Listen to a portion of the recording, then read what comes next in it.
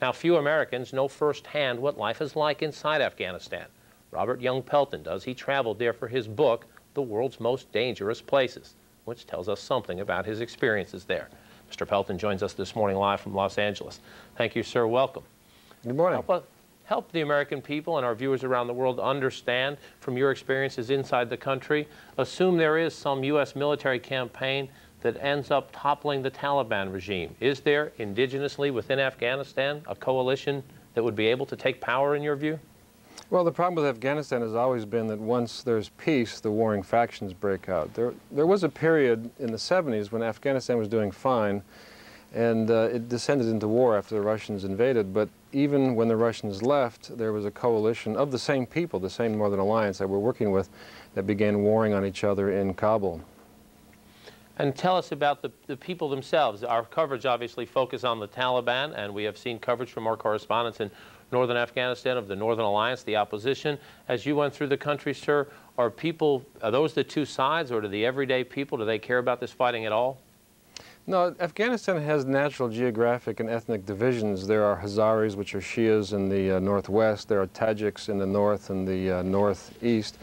You've got Pakhtuns, or Pashtuns as they're called, in the south.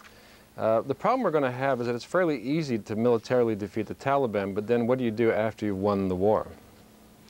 And you say this is one of your favorite places. You have been to 90 countries around the world chronicling your travels. You say this is one of your favorite. Explain what you mean by that. Well, the extraordinary thing about Afghanistan is they've been fighting two decades of war, and everywhere I went, I was welcomed into people's homes. They were very, very generous with me. Uh, they were very open to my ideas. They shared everything they had with me. And these are people who are just devastated by a number of natural calamities and, of course, man-made calamities. And the thing that I think that our soldiers and people who are over there now will find out that every Afghan welcomes outsiders if they come with an open hand. If, out, if those outsiders include armed U.S. troops, do you think there will be a welcome, sir? Well, they're not anti-American. I never found any anti-American sentiment amongst either the Talibs or the North.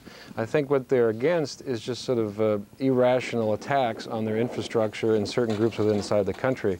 But the, Afghan the Afghans really would welcome the Americans to at least assist them, not to run their country, but to help them come out of this uh, two decades of warfare.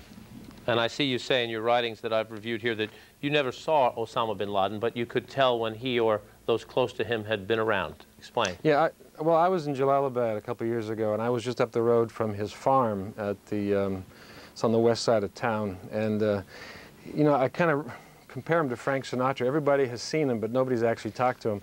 He uh, travels in a, in a sort of a convoy with uh, red uh, Land Cruisers and white pickup trucks, and you can tell because he's surrounded by Arabs, and Arabs wear the keffiyeh, either black and white checked or red and checked, uh, red and black checked uh, headdresses. Robert Young Pelton, author of The World's Most Dangerous Places, we thank you for your thoughts today, sir, helping educate the American people about life inside Afghanistan. And now for more